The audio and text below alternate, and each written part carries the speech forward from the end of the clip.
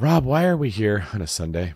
Well, surprise, my friend, because the Bigger Pockets bookstore now sells audiobooks. And to celebrate, they're offering all audiobooks for 50% off for 24 hours starting on July 17th. Ugh, I don't know that I was prepared for this. That's going to be a little bit of a hit to the pocketbook. But hey, for our listeners, this is awesome. With dozens of investing and finance titles to choose from, you can listen to the rest of Jamil's How to Wholesale Real Estate, download Pace Morby's Wealth Without Cash, or catch up on all time investor favorites like BRRRR or Multifamily Millionaire. Well, don't wait because this sale is only going to be for 24 hours and you can download and listen on Spotify, Apple Podcasts, or your favorite platform. So don't miss out. Head on over to biggerpockets.com slash audiobooks today. So you're about to hear the first chapter of How to Wholesale Real Estate by Jamil Damji. After you're done listening to this, go check out more Bigger Pockets podcast episodes with Rob and I. And don't forget that for today only, you can save 50% on all Bigger Pockets audiobooks. So be sure to listen on Spotify, Apple Podcasts, or your favorite platform and download your books today. Boom. Aren't you glad I texted you in the middle of the night for this? Okay, well, that makes sense.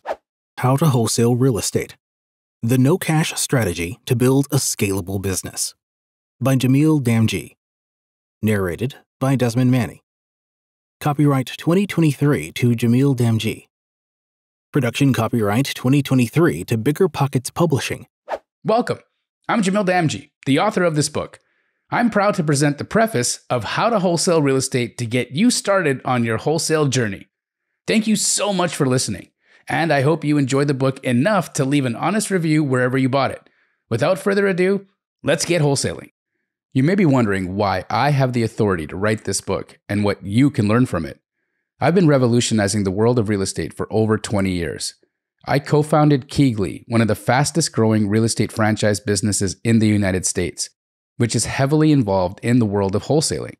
With hundreds of franchises across the United States, our gross revenue in 2022 was $38 million, with a gross profit of $18.4 million.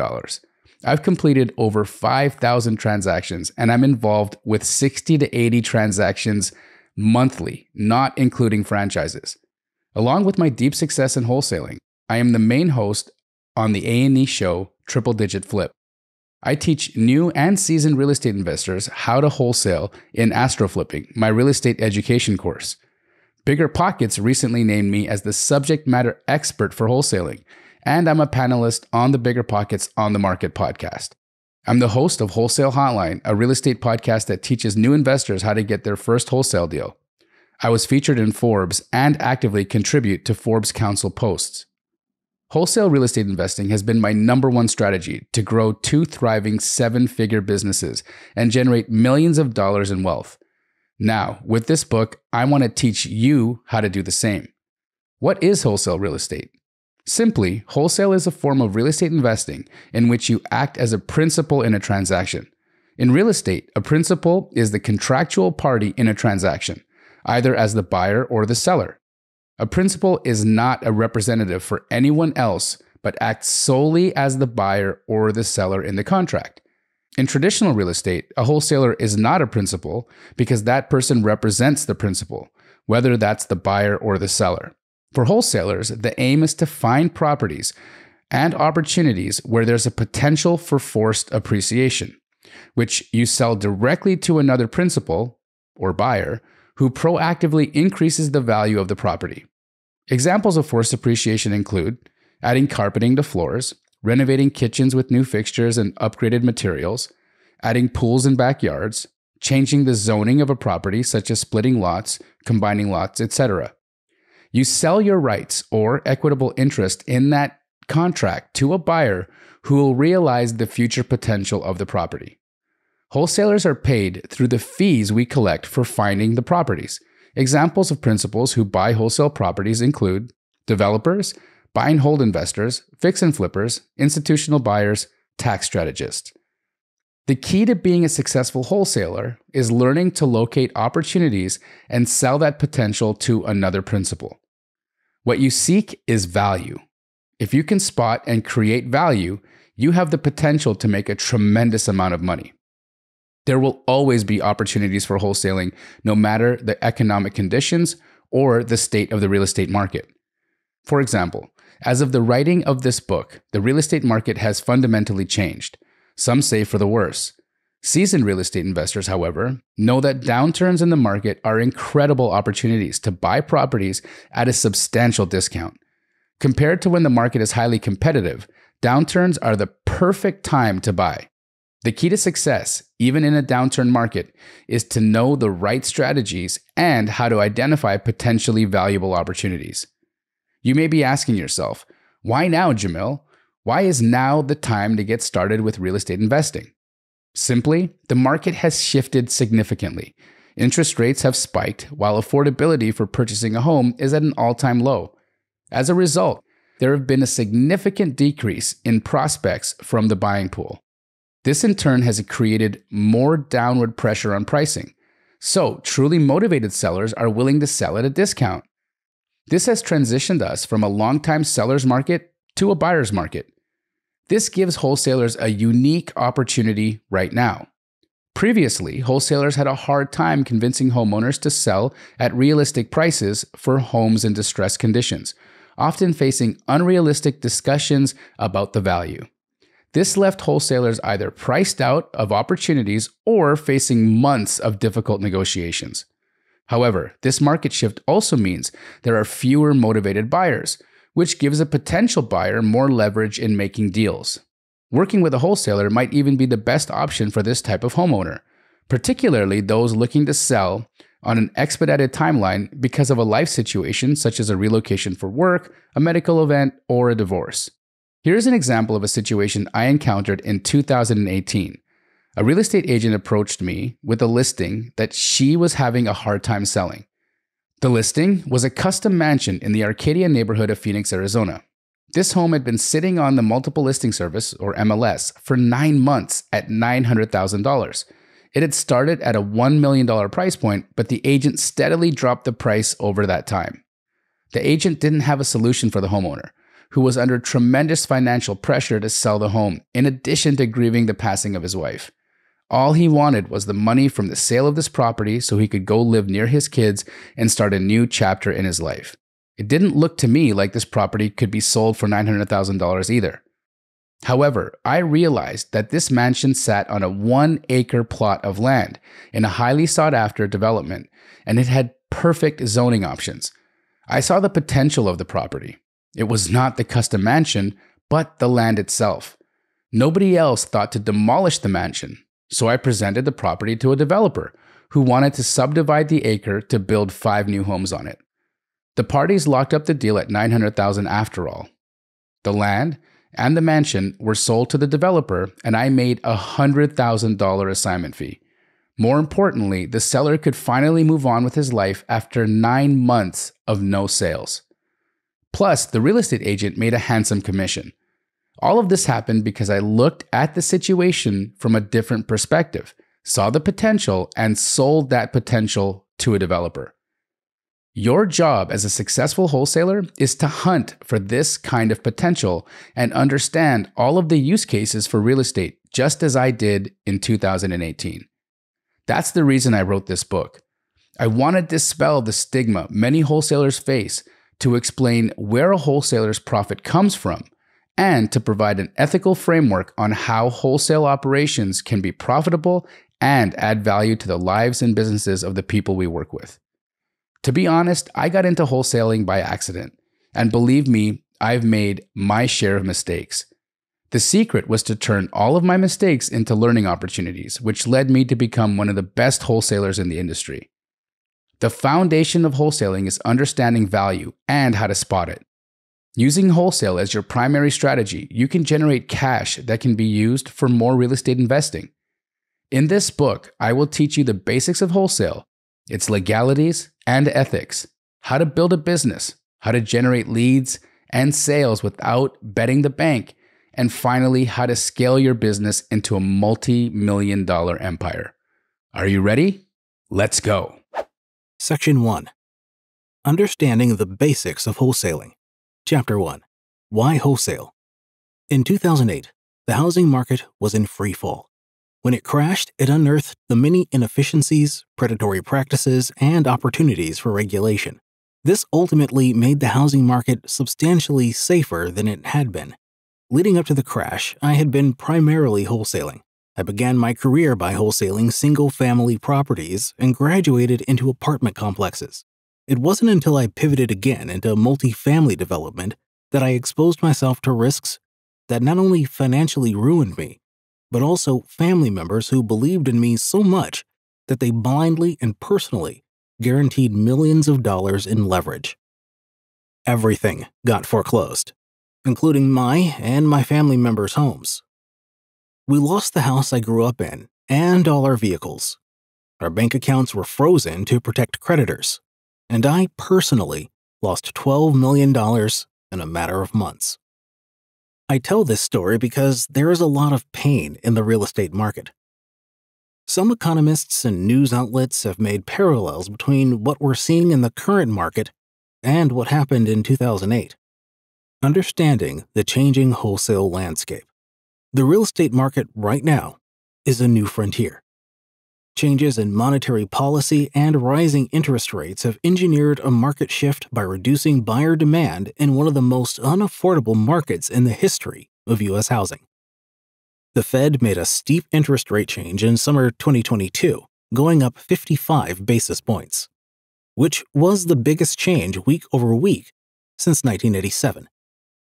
It then increased the rate again by 75 basis points in the same time period the speed of the rate hikes was an emergency response to unfettered inflation, some of which was related to housing, such as material costs of goods, maintenance, and supply chain challenges caused by the COVID 19 pandemic.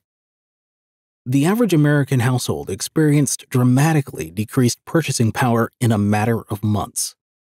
In layman's terms in real estate, you either can afford less house or pay more for the same house than when it hit the market. When comparing the housing market now to what happened in 2008, what we're seeing is a correction and not another housing crash. A correction means home prices drop slightly, usually 10% or less. What is happening as of early 2023, during the writing of this book, is a national average drop of around 5 to 7%. In 2008, there was a staggering drop of more than 30% which is evidence of a housing crash. A correction can last from six months to over a year. The housing market experienced a similar correction at the end of 2018 and start of 2019. It's important to note that the United States doesn't have one single housing market. Different regions are affected locally, so it's important to study data specific to whatever market you want to invest in. Market fluctuations don't necessarily mean investors should be worried or hold on to their dollars until the storm passes. It does mean that investors must rely on the fundamentals of real estate investing to take advantage of unique times with extraordinary potential. I re entered the real estate game after I lost that $12 million in 2008. The difference in 2010 was that the housing market had hit rock bottom it had only one way to go up. Few people were buying real estate because the average person was staying away from toxic asset classes. I could buy properties at a fraction of their peak value. Between 2010 and 2012, I purchased $8,000 worth of property in Phoenix, Arizona, my specialty area. In 2019, I exited those same properties for $8 million. That was a 10 times return on investment by taking advantage of a market shift and getting back to the fundamentals of real estate. I cherry picked properties this time looking for the best buy and hold opportunities. I looked to generate the cash required to fund these types of opportunities. That's the power of wholesale in shifting markets. You have the advantage of generating cash, spotting opportunities, and executing when those deals present themselves. My good friend and real estate aficionado, Dolf de Roos, says in his book, Real Estate Riches, that the deal of a decade comes around once a week. A good wholesaler first has the cash on hand to take advantage of these opportunities. Why wholesale is perfect for new investors. To recap, wholesale real estate investing is a strategy in which you secure the contractual rights to purchase a property with the potential for forced appreciation. You then sell those contractual rights to someone who will realize that potential. The best thing about wholesaling is you never buy the property, which means even with limited funds, you could do this. Wholesaling is a viable strategy in any market condition. In a bear market, everyone wants to buy real estate at the low point, so wholesalers are key for other buyers because of our ability to find real estate. Wholesalers add value to the economy in a bear market by contributing volume in the marketplace, especially when retail buyers have stepped out of the picture.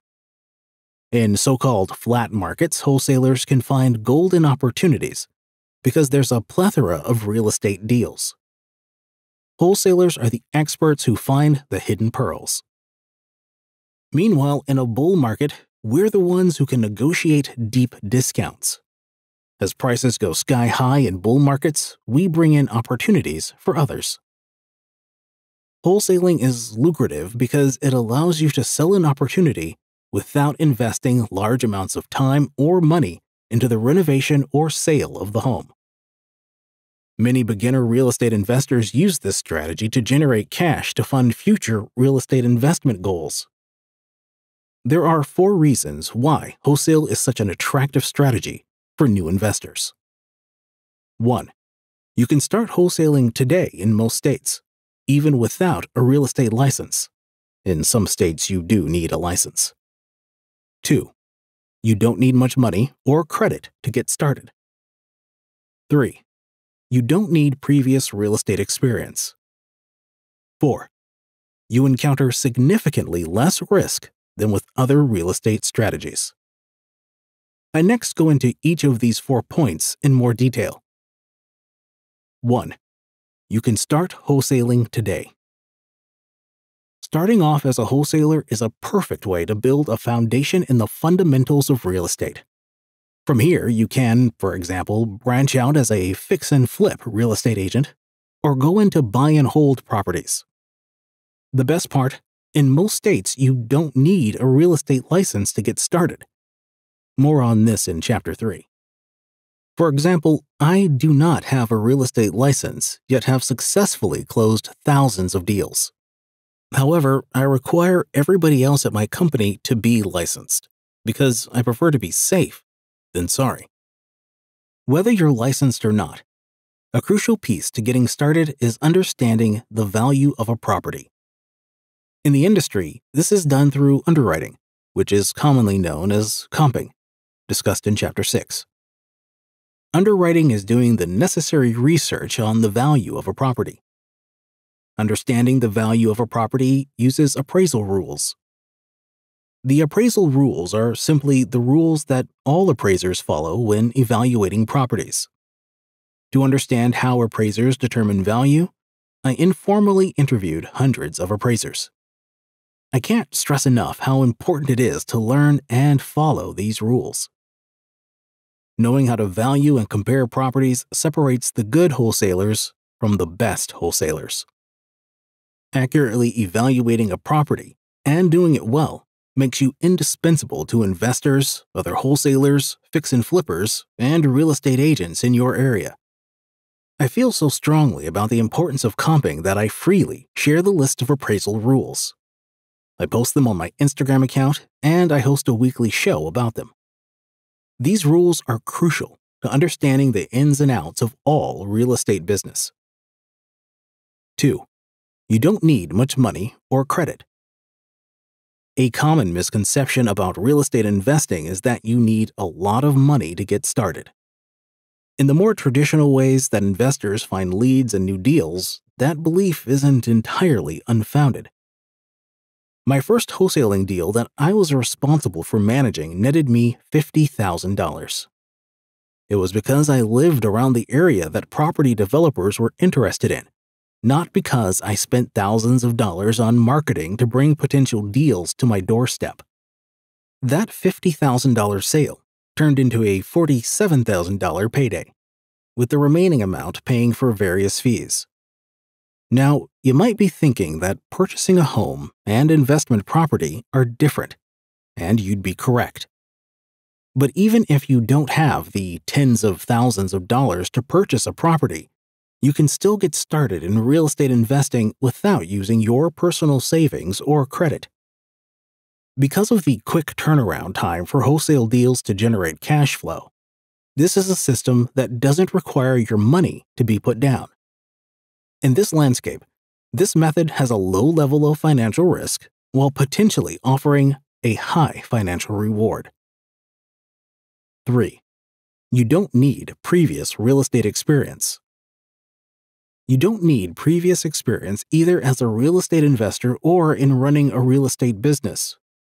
Don't get me wrong, these types of experience help, but you don't need them to flourish as a wholesaler. As I noted earlier, being a wholesaler may not require you to have a real estate license or any type of official certification.